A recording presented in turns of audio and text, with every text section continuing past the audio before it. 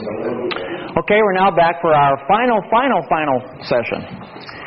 The very end of our sessions. I want to put on the board here. Uh, I don't have this in your notes exactly like this, so on the back of your one of your pages, if you could write this, this chart, and put on the board physical and spiritual. Again, we already, we already established in previous lessons that there is a spiritual realm, the realm of soul, the realm of mind, non, non-material. So we have a physical dimension and a, and a spiritual dimension of reality. Let's use the words now personal, and impersonal where would you put in, in general placement the, the term impersonal? Which side of our chart? Spiritual. Physical. Impersonal. Physical. Yeah, wouldn't impersonal usually be in the physical side? Why? What's an example of impersonal that's physical? Particles and rocks. Okay, rocks. How about electricity? Is that physical? Yeah. Uh, electricity is physical. Chemical, uh, anything that has gas, dust, and liquid is physical. So gas, dust, and liquid. So electricity has gas, at least. Isn't electricity charged gas? Gas that's highly charged. Clouds are gas and what? What are clouds made of? Gas and what else? Water. Liquid. Okay. And um, of course, Earth is dust, or a combination of dust, air, and liquid. So anything dust, air, and liquid is is physical, but it's impersonal. Impersonal. Gas is impersonal, and liquid's impersonal. But we have personal things in this room us. So we have personality. So where does that go in general? Physical or spiritual? Because how would you describe the term personality? What's the definition of personality? Mind, will, emotion. Okay, mind, emotion, will. Is that a physical thing? Are emotions physical? Can you see, again, Kant, Kant would say, can you see anger? You can't see it. You can't find anger in your blood tissue. You can't find anger in your muscles your bones. Anger is not in the physical body. But something gets angry. We call that the person. But that person's not blood tissue or bone, so it's not physical, it's spiritual. So here we have the personal side. So again, we're persons, and if like comes from like, that means that there's someone personal who allowed us to come into existence since we are not eternal beings. And that means that we have a dimension. The, the, part that makes us personal is spiritual, and we come from something before us that's original. So we have to come from an original, personal, spiritual being that's also good. We call that God. So here's an example of impersonal, physical, Gravity is a physical force. Gravity is a physical force. Can you think of a spiritual, personal, moral force? Love. Love. Love. What else? What what's what do Muslims really uh, look look for when a person steals something? Justice. Justice. So most cultures would have no hesitation to say, we believe in justice. Some cultures might be lacking in love. In fact, if you look at Islamic culture, uh, you don't find as much love there as in other cultures, but you do find justice. Now, in American culture, you might find a lot of love, especially free love uh, in the sexual sense, and, but maybe not as much justice. So every culture has uh, an imbalance toward one thing or another. But you can find justice is one example. What were you saying, Carlos? They think that's still how the morality is. Still. Justice? Justice, yeah. Yeah, some cultures that on top of their list uh, as a priority. But just for example, for our class, we'll call, uh, as, a, as an example, justice. Now, is justice a physical thing? No. Yeah, you'll never find it under a microscope. Uh, it's an invisible thing. Okay, Well, how can you believe in God? Isn't that the same as an invisible gardener? Uh, in, in other words, isn't that no better than no gardener at all? Isn't invisible gardener just the same thing as saying there's no gardener? But then ask that person, can you see justice with your five senses? No. But do you believe in justice? And if you, again, if you burn down the house of Antony Flew in his former life, and he was an atheist, he would want justice. And he would say, But Mr. Flew, justice is no different than no justice. It's just the same as nothing. It's not real. But he would not agree to that. He would say, No, justice is real.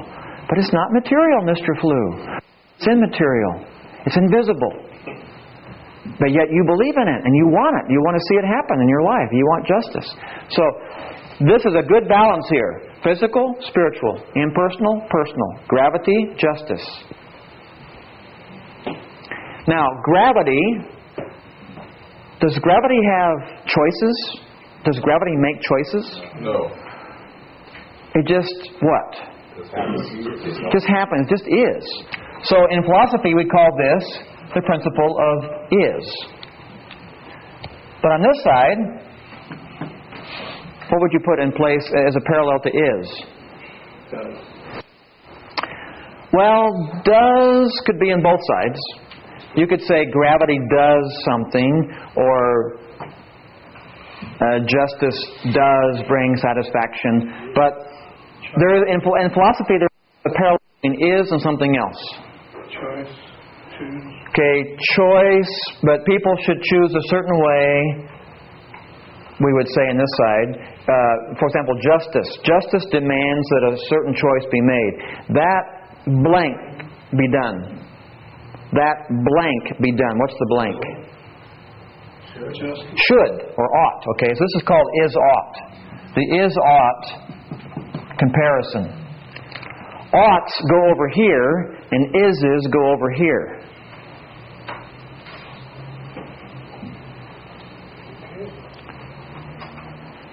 For example, if you burn down the house of Mr. Flew, what might he say?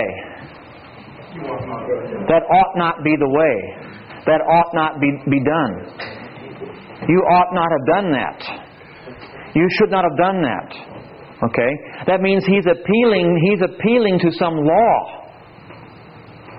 There's some law of oughtness. That ought not be done. That's not right. And he knows that instinctively. So that's ought. But gravity, could you ever say to gravity, you shouldn't have done that, gravity? You ought not have done what right do you have? It just is. When it comes to physical things, they just are. That's it. When it comes to moral things, there's ought and ought not. We also call this in philosophy the category of fact. Can you think what this is called over here? Personal beings have the ability to assign something to facts. Value. Value. Life is full of values, but values are not physical things.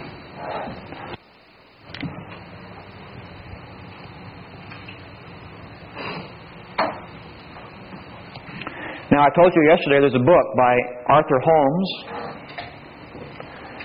Can anybody here recall the title of that book? There, there, two thirds of that title are up here on the board.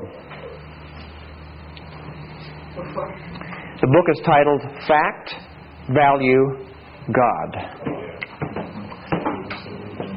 How do you come up with God based upon fact and value? How do you think his book makes its argument? There's something ahead of fact and value. Does the world have facts in it? Yeah. Mm-hmm. Yeah, this floor is here. It, it just is. This floor is is a floor. That's a fact. Now, Who says that this floor is good or bad? Can the floor by itself, impersonal particle, can the floor give a value to itself? Does that even make sense? No, floors don't think, and floors don't evaluate, they just hang out. They just are. So something that's not a floor has to give a value to it. I like this floor. It's got great color, it's kind of bouncy, makes me higher than you, so I look down on you. Wow, I like it. Someone else says, No, I don't value this floor. I like being down with the, with the common people, the common students. So. Oh boy. Politicians.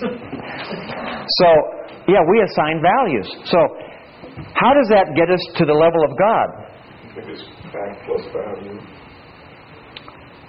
You know, how does how does this uh, dimension here give us a moral lawgiver? Uh, Lewis, In order to assign value, um, had this a second ago.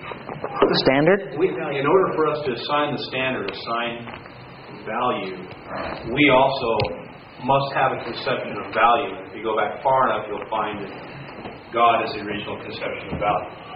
Yeah. Now, now this this floor example is a bad example for what I want to say now. Let, let's use a more universal example. Um, killing our own mothers. Okay.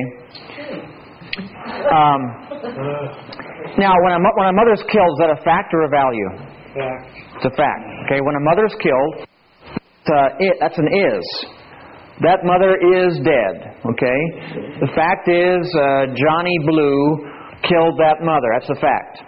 Okay? Now, I know there are some cuckoo people out there, but, you know, for most people, how would they value that, that fact and that is? Most people.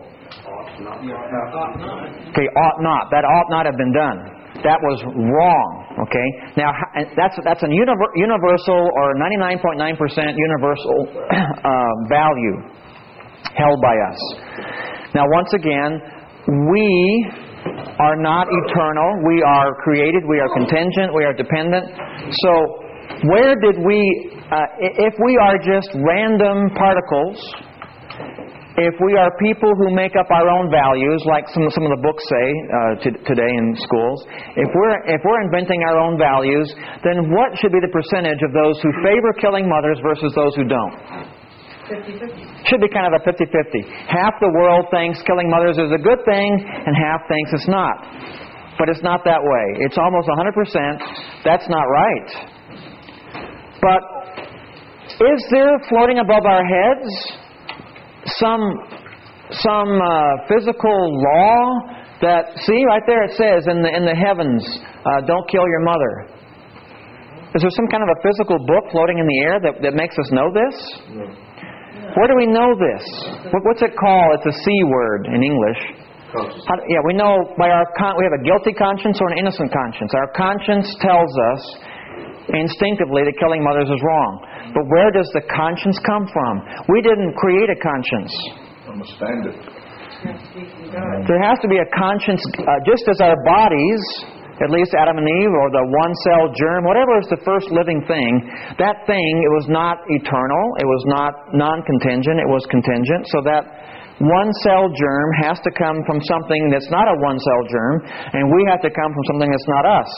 But whatever produced us has to be moral, and that's where, because and that's where the source of morality comes from. So, so fact and value do lead to God.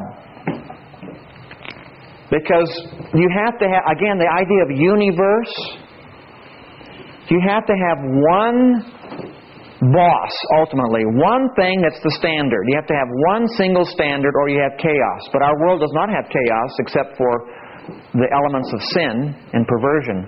But the original good, the non chaos, that's part of our original planet, has to have a single source for making it a universe. So you end up with one God. One God to explain the uni part of universe. And that one God must be spirit, personal, moral, and so forth. So this chart I think is very helpful to, to make it clear to people how to evaluate reality using these arguments we've been going through step by step. Okay, look on your handout. We have to spend a little bit of time responding to the problem of evil.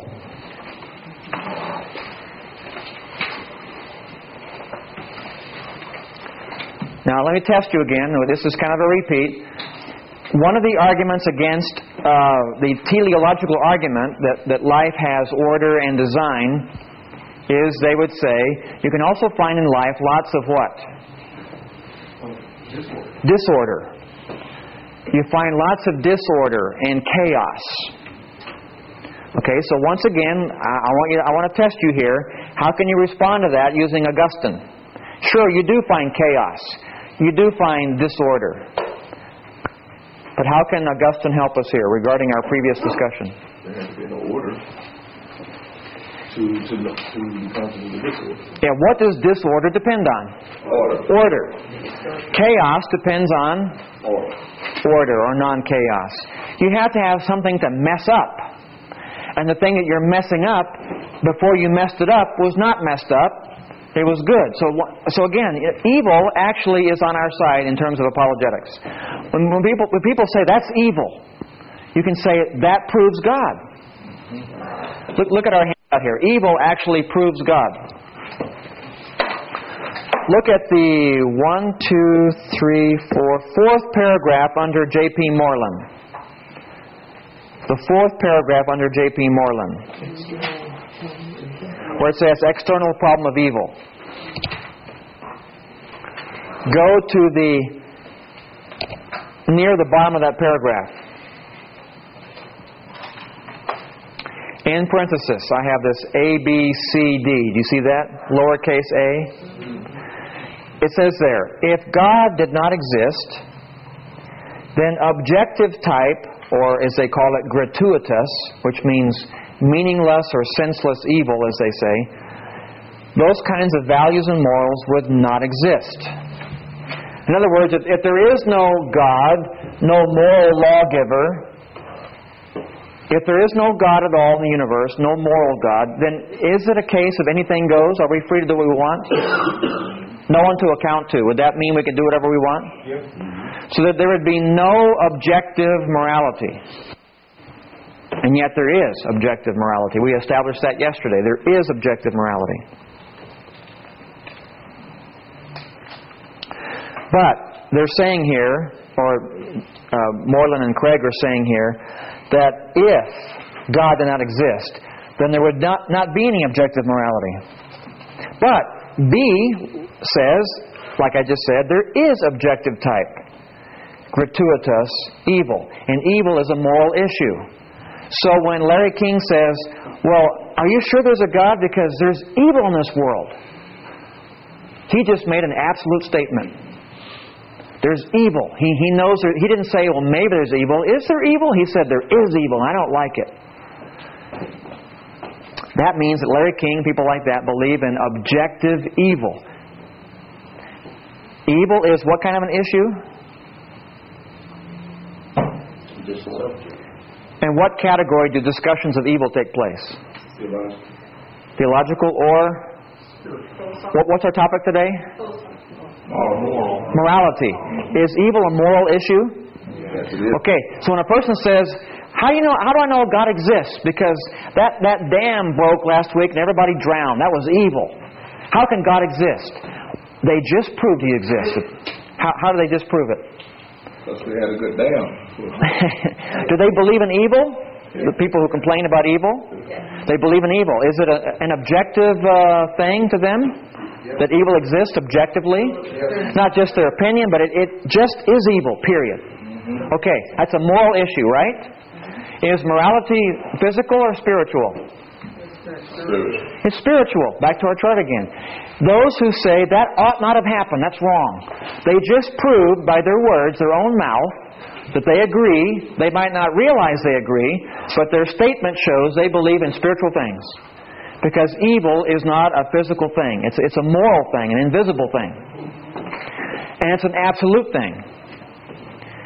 And how do we know what ought and ought not be? Uh? And why is it that we all have the same idea? When, if you talk to every person on planet Earth about uh, how they feel, how they value that dam breaking and killing all the apart from a few cuckoo heads, most people, 99.9%, would say, is it good or bad? Bad. Bad. So just like just like killing mothers. So there's some knowledge of a thing so consistent. What do you call things that are so consistent? Law. Laws. Like gravity. We call them laws. And these laws are consistent, and they all point to. when- When you say consistent, you're saying that there's a oneness. Consistency means oneness, so that you all point to one source, one standard. That means that this one God is the standard to measure right or wrong. That dam bursting is wrong, and killing mothers is wrong, and it all comes back ultimately to one source, one God, who's, who happens to be good. A good source. And again, good is first, evil is second. So he must be good. He cannot be evil. So, keep following our argument here. So let, us kind of go back again. A, if God did not exist, then objective type or gratuitous morals or values would not exist. But B, we already know that objective type, gratuitous or non gratuitous evil exists. Everybody knows there's evil. They all recognize it and complain about it. Therefore, C, objective type moral values exist, such as evil, which is a moral value, an objective value. Therefore, that actually proves God does exist. Now, this argument is, is uh, given more detail in apologetics than it is here. It's also simplified. But there is a basic argument that makes sense. That the complaint about evil itself is a recognition of absolute evil. That evil is an absolute thing. And it's always bad. Evil is always considered a bad thing. It's, it's given the value of a bad thing. And that points to a universal knowledge of morality that comes from one single source. That's why it's always a consistent uh, value among humans. And it points back to God. Okay, next handout. We have to rush along here.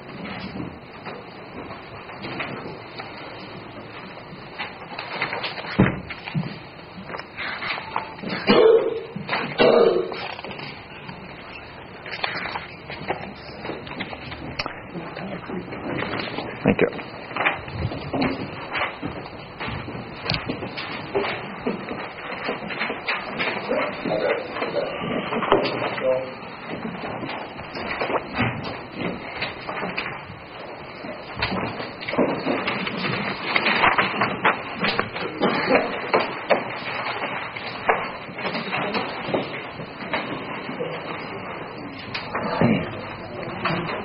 Okay, I want to save time for our last page, so we'll kind of go through this, kind of just run through it.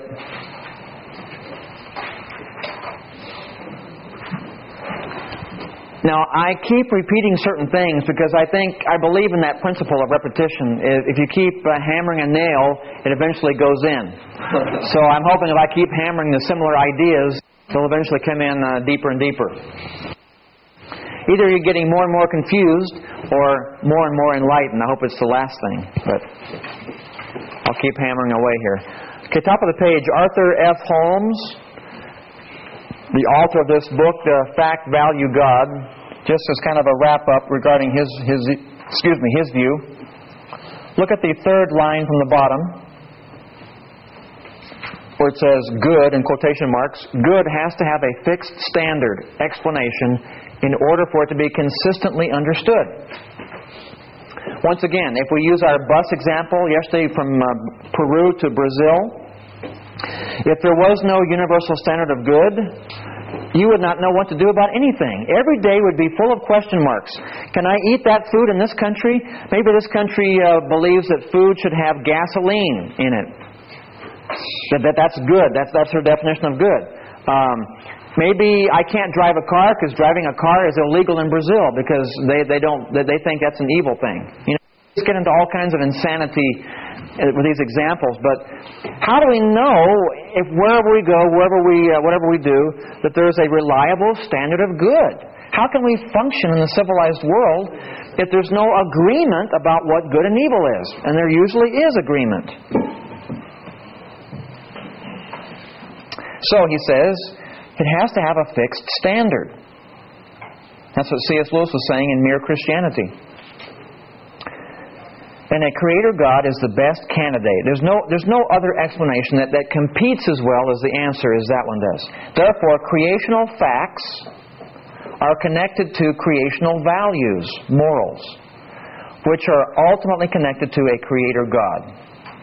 So I spent earlier he's getting at. This is a quick glimpse without explaining very much.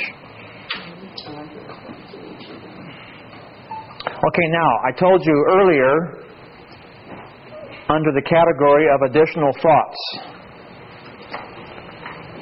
That there's a renaissance of various classical views. Look at this first paragraph under additional thoughts. The classical arguments for God's existence still have strong support today. The ontological argument is promoted by Alvin Plantinga that we looked at earlier. Number two, the cosmological argument is now John Warwick Montgomery.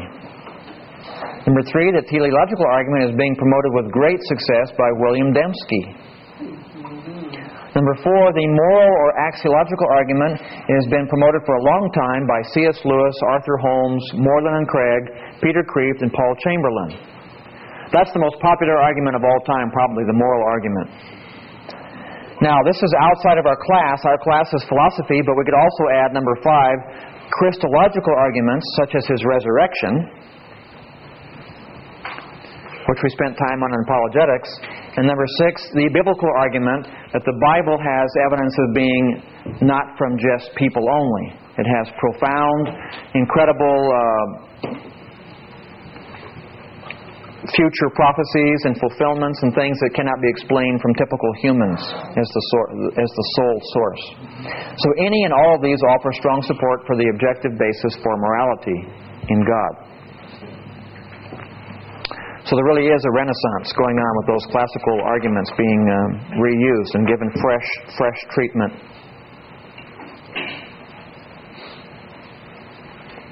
Now I haven't said much more about answering the problem of evil.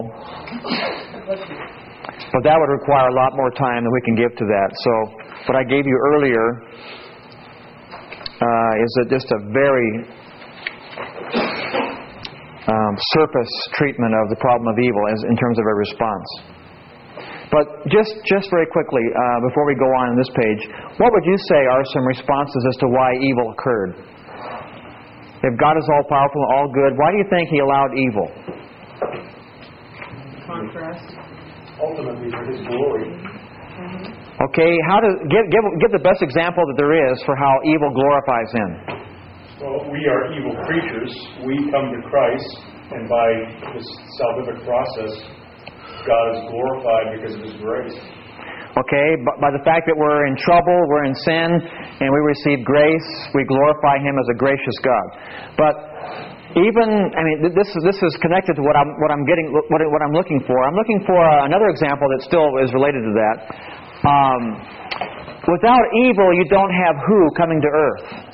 Okay, you don't have God becoming man without evil. I mean, why should he waste his time becoming man and suffering if there's no evil? Mm-hmm. So, because there is evil, he came here and suffered and rose again, and now he's glorified. So, this ties in with God's glory. One purpose of evil is to glorify God. Now, let me give you a philosophical possibility. This is in your notes in the previous page, but I'll just tell it to you orally or, or for the camera's sake. It's on your notes before this. And this is, this is a philosophical speculation. But see if this makes sense to you. Let's, let's imagine we're back uh, with God, that we're somehow a viewer of God before He created anything. So it's just God, the way God was from all eternity Father, Son, Holy Spirit. God alone, self existent, and uh, He's you know, perfectly. Um, he, he's self self sustaining.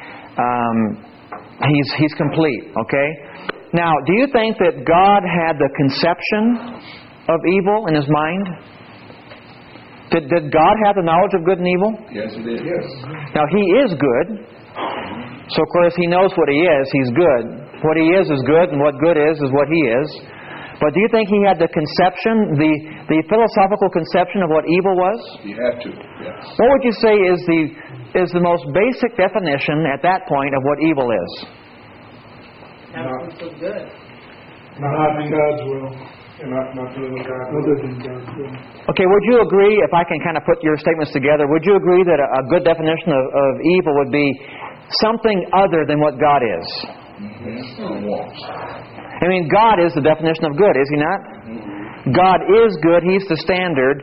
Um, good is God. God is good. That's just what God is. Whatever God is is good. He's the standard. He is what, what good means. So anything that's not like Him or opposed to Him or is a contrast to Him would be, by definition, evil. Would you agree? Mm-hmm. So do you think He had that concept? He did. If God is all knowing, wouldn't He know, at least conceptually, theoretically, what evil is? Yes. Okay. Now, here is a view that I have kind of developed, and I got it from other people. I've kind of put my own twist to it. It seems to me that one possible reason, I don't know for sure this is the reason, only God knows, but maybe since God knew of evil conceptually, and since God brought into being all kinds of things, Augustine, Augustine used to say that God's the kind of God that delights in bringing the concept into the actual. He conceived of us. Weren't, we a conception first? He had in his mind, from all eternity, the idea of, of human. And flowers, and planets, and orbits. Don't you think? Didn't, didn't that start in God's mind? So he had the, the, the conception, he had, he had a blueprint, he had it all worked out in his mind, and he brought it to pass. Does that make sense? Yes. Okay? So he also had the conception of evil.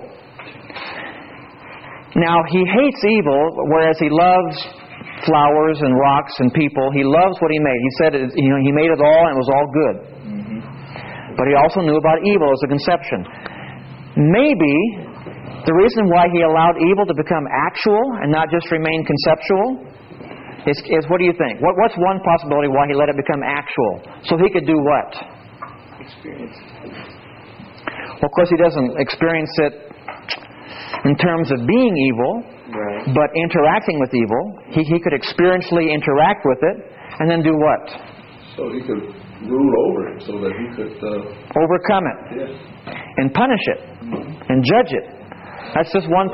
and I'm, again, I'm speculating, but that might be a philosophical answer for why God let evil become actual, not just remain conceptual. So he could actually deal with it in a tangible way and overcome it and glorify himself in the process. But at the same time, yeah, pardon me a second, at the same time, you have to kind of balance these things, otherwise you get extreme. At the same time, He let us, with our free will, whatever you think of free will, which is a complex issue, He let free will uh, be given to us, and He has so much respect for us as His creatures. We have so much value in hi- being in His image that whatever we chose, in this case, if it, if it was bad, He would respect that, even though it's a heavy choice, and we would be put into a very heavy consequence because He respects what we did.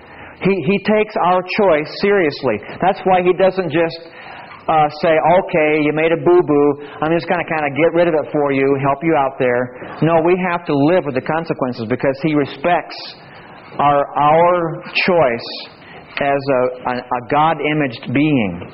And He lets us experience those awful consequences because that choice was taken seriously. God takes our choice for evil seriously.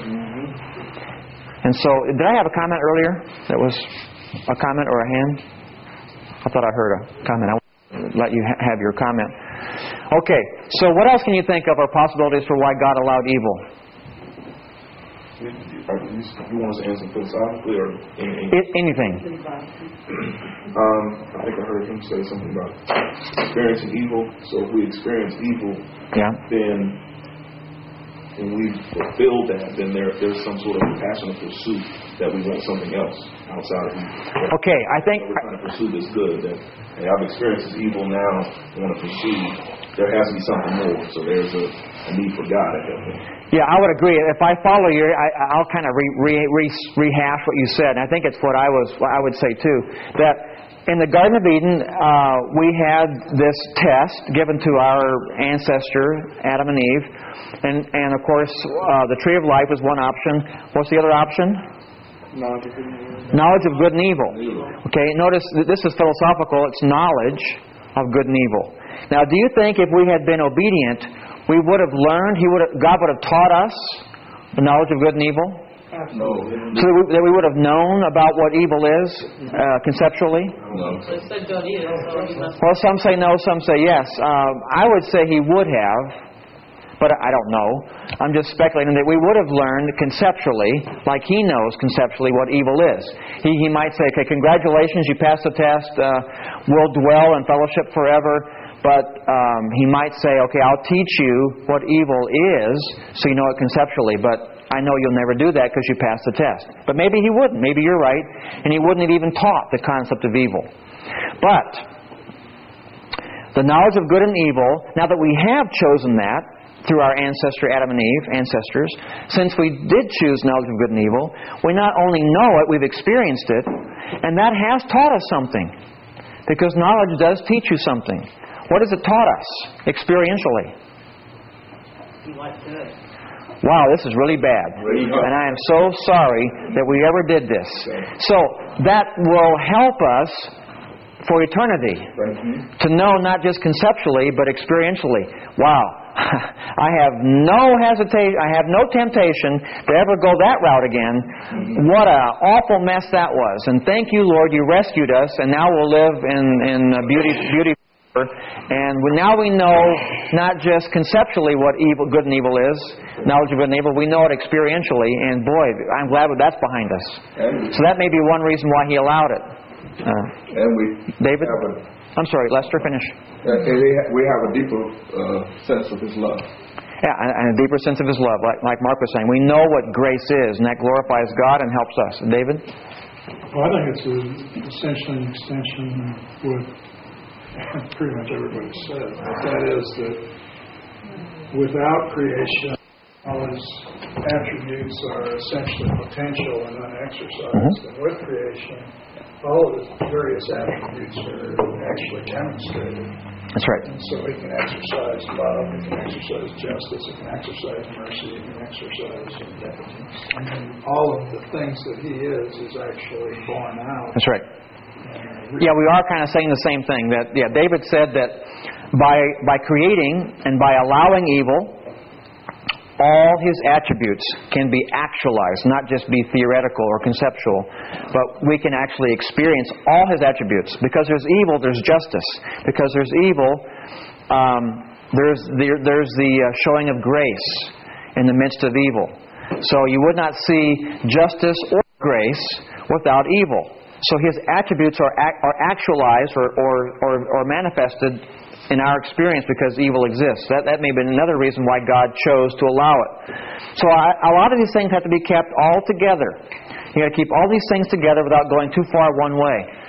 And I think they all add up to uh, uh, an explanation for why God allowed evil. But you still come up with a mystery at some level. We don't know all the reasons why he did. But those are, I just wanted to have a few things out in the out in the open about uh, why there's why why God would allow that. I have some things in your notes, but read that on your own. And there are other classes that go into that further. But for the sake of time, we have to go on to uh, other things. Let's uh, look on page 9E.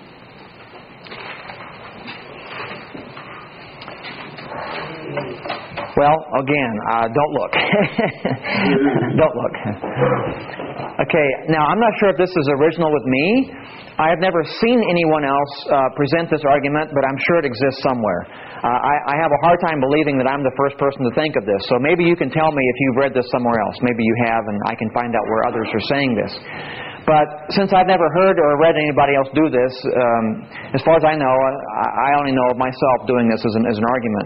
And this is what I call the clothing argument to, to show that there is a moral lawgiver. This this has got to be done by somebody else, probably a thousand times. I just haven't seen it. The clothing argument. Uh, what do you think that, that is, the clothing argument? How, how can clothing, well, all of us have clothes on. And wherever you go on planet Earth, there's always clothing. Uh, I know of a tribe, I'm a former missionary, so I'm kind of interested in different cultures. I know of a tribe that to the, to the, to the, uh, to the typical observer, they look naked, but they're not. Um, this tribe I'm thinking of is in Brazil, I think. And they look totally naked. But in their culture, they're, they're clothed. Can you guess why? I'm, re- I'm referring to the men. The men look naked, but they're not. The, the male sex organ has, without, without circumcision, what's called what? A foreskin. Okay, believe it or not, in that culture, that's called their, their clothing. And, and they, they have seen people ha- that have been circumcised, they call them naked if they don't have their clothes on. So, to my knowledge, there's no culture on earth that, by their definition, by the culture's definition, there's no culture ever, ever found that is totally naked. Now, it might be just a G string, but that's clothing. Okay? In that culture, a G string is clothing, and no G string would, be naked and shameful. So, even in this culture that's very extreme, in Brazil, that only has foreskins for the male, the females, I think, have a G string. They call that clothing. They, they define that clothing in their culture.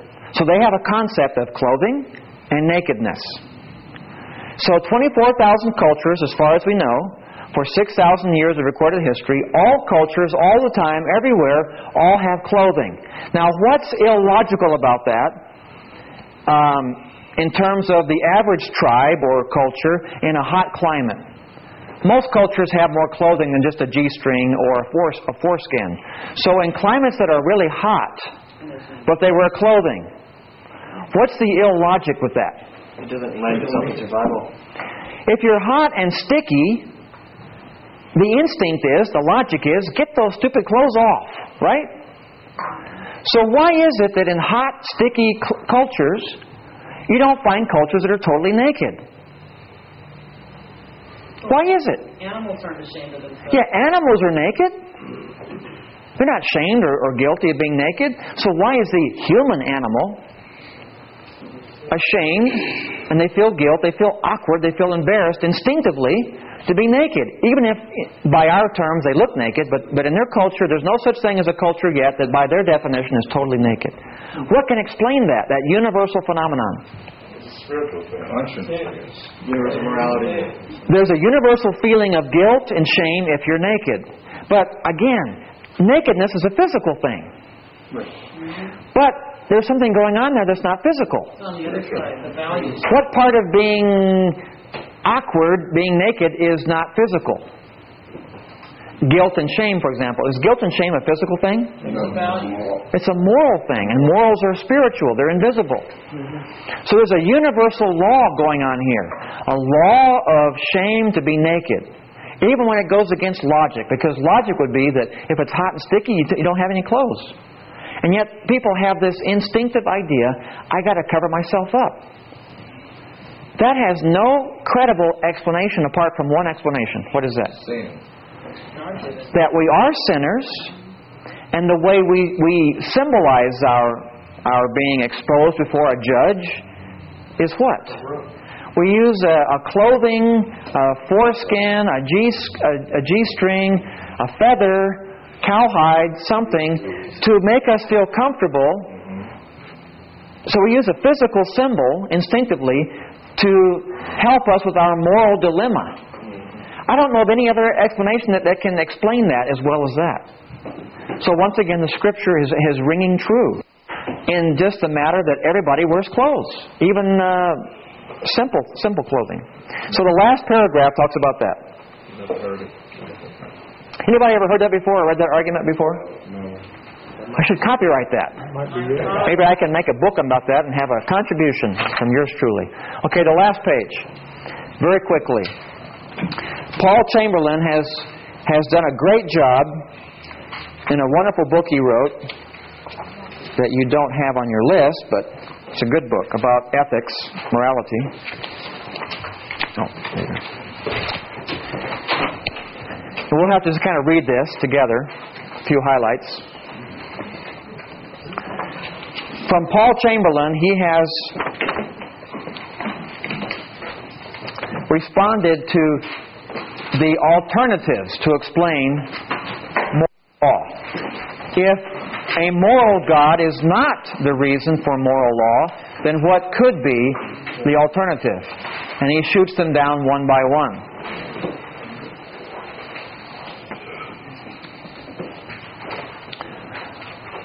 Okay, the first alternative is atheistic foundation.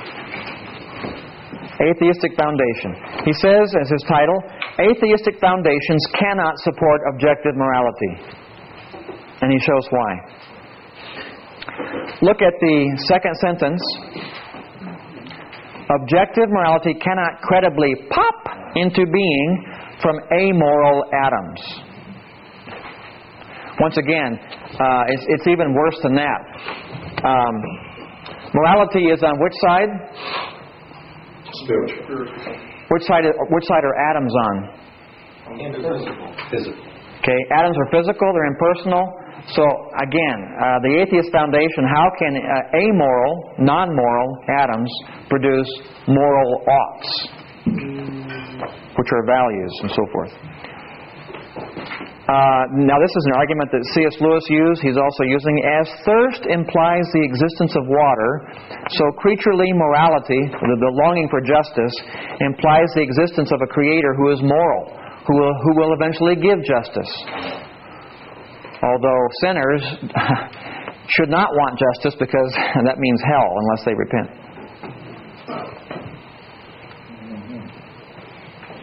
Okay, go to that. Go to that uh, fourth dash. Fourth dash. Many atheistic justifications of morality are based on moral truisms. They call moral truisms, as a result of coherence.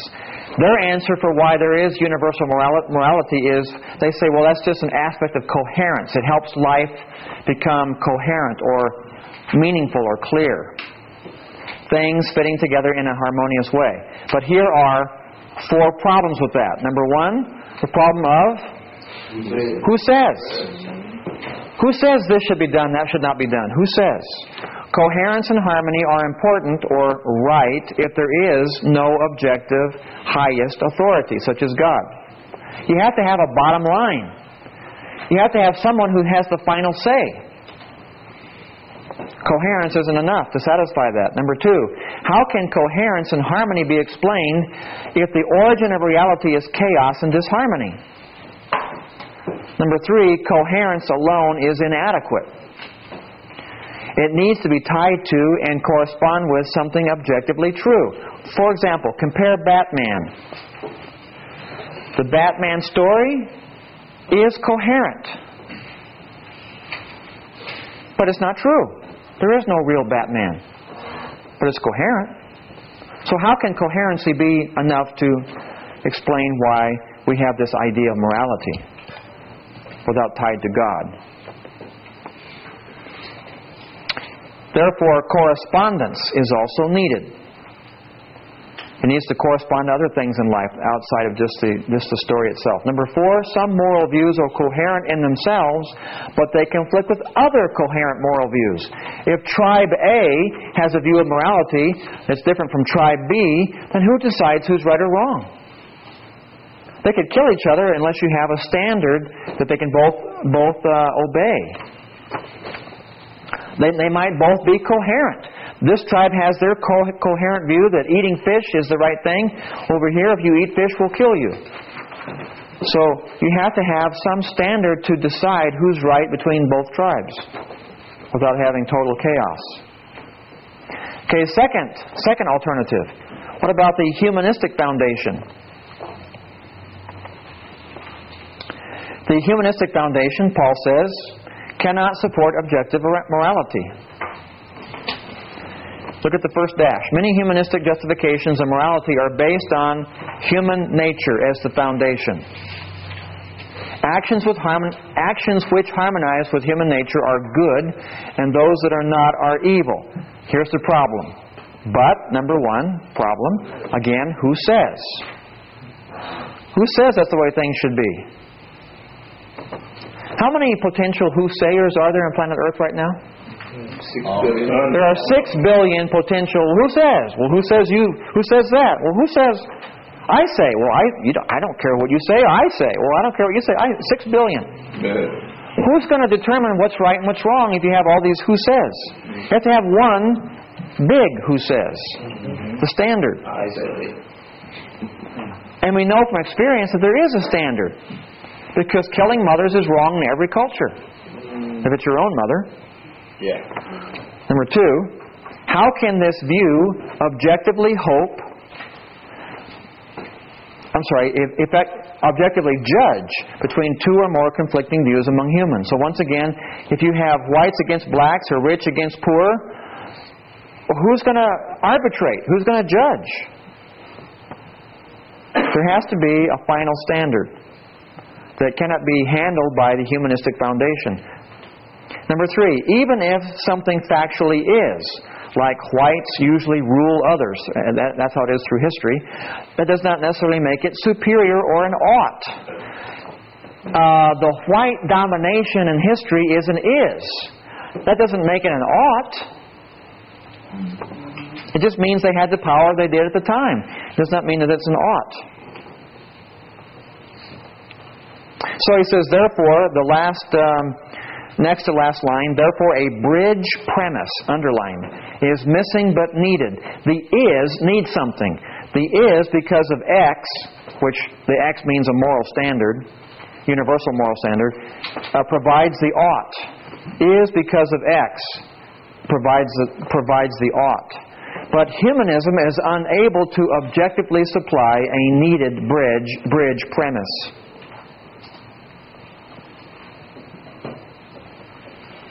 Now, the next, next underlined problem or alternative is the evolutionary foundation. I think we've done enough about that to, without reading that with our lack of time. So I want to look at the, the next paragraph under the humanistic foundation, and we'll close uh, with that. Other humanists justify objective morality based on human need, or what's called in philosophy social contract. That we just agree as a tribe to have our own morality to keep our tribe together. So they say humans socially agree in what they need, and aids to that are right, and those that are not are wrong. But again, the problem is who says that human needs and agreements are so objectively important? What about those poor ants? Compare ants socially agreeing that if humans were removed, their needs would be met would be met bet would be met better. In other words, who says we're more important than ants? If ants could make social contracts, you know, ants are pretty intelligent. Yeah. They're, they have cities. For every one human being, there's a million ants. Wow. And for every one person, there's a million ants. That's scary. But they have cities, they have leaders, they have servants, they have government, they have order. So what if they decided, and they outnumber us a million to one, what if they decided by social contract, humans ought not be? We would say that that ought not be if they said that. But again, who says? Like above. Number two, like above, if human group A, if human group A's social needs, for example, Nazis, clash with human group B's needs, such as Jews, then this foundation is unable to objectively judge between them. Number three, like above, the fact value is ought problem remains. Human need is X, but what objective reason Y justifies why X ought to be? Why is tribe Z's survival an ought? Or this is one I, this, this is one I keep using. Why is amoral atomic arrangement A, living human, upright human, better or an ought than amoral atomic arrangement B, dead human, horizontal human, in a grave? It's still amoral atomic arrangements. Four, what if Group A, Aztecs, socially decide to kill, sacrifice some of their own people? Group B, for the needs of the living. Does this make it right? How can this be objectively judged? And finally, this foundation is really subjective. It's just human subjective decision, not part of a universal moral law that we already know about. Is Calvin? Is Calvin gone?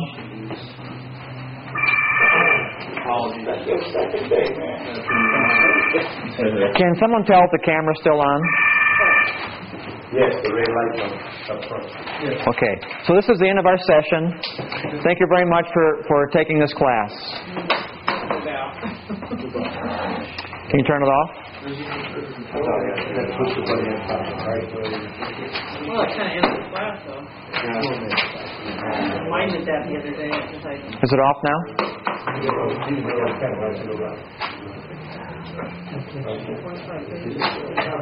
It'll go up on its own then. It's off. Was it on before? It wasn't an on position, the red light is still on. It was on. Okay. Um, okay, time's up. Uh, question, Mario? Not a question, uh, maybe a statement. I, I guess I should say, entire class did a wonderful job. Well, thank you. Great. I, you know, um, this is this is a hard class. It's hard for hard for me, hard for you. So this is a hard class. So uh, thank you, thank you for being patient with this camera thing. If the camera had not been on, we would have had a lot more interaction, which would have helped. and we would have been on page 12. Yeah, but anyway, thank you for that uh, compliment. But uh, it's it's been a tough week for me as well as you. This this is this is hard stuff. But thank you for your part. Um, look at the last paragraph. If you read your, I mean not if, when you read your book by Peter Kreeft, you have to, and I hope you will anyway. Look look at the next to last line where it says note. Note, the remaining questions, lessons in our philosophical journey will now necessarily move in a more religious direction. Compare the humanly, kno- humanly known ceiling in philosophy. Uh, you know, we have a ceiling of limitation. The mind cannot go very far.